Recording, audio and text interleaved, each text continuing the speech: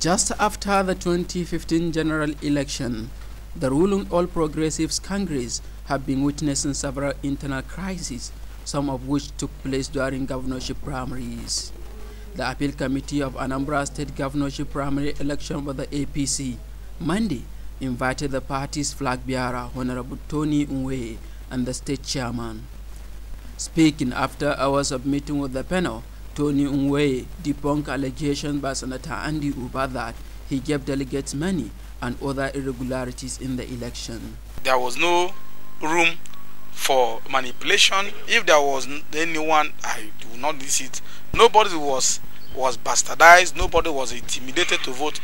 The issue of inducing voters with money, no evidence of inducing voters with money. Responding questions from journalists, the state chairman alleged that Senator Andy Uba sidelined the state executives, insisting that there was no fake delegate during the election. They will receive um, any complaint, any official complaint from any of the aspirants. And that is the reason why I told them there that is unheard of.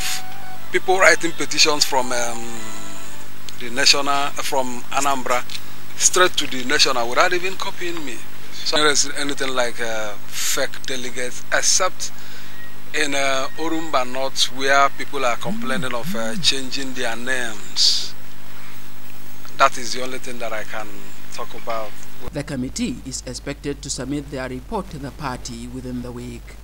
Alhassan Bala, ITV News, Abuja.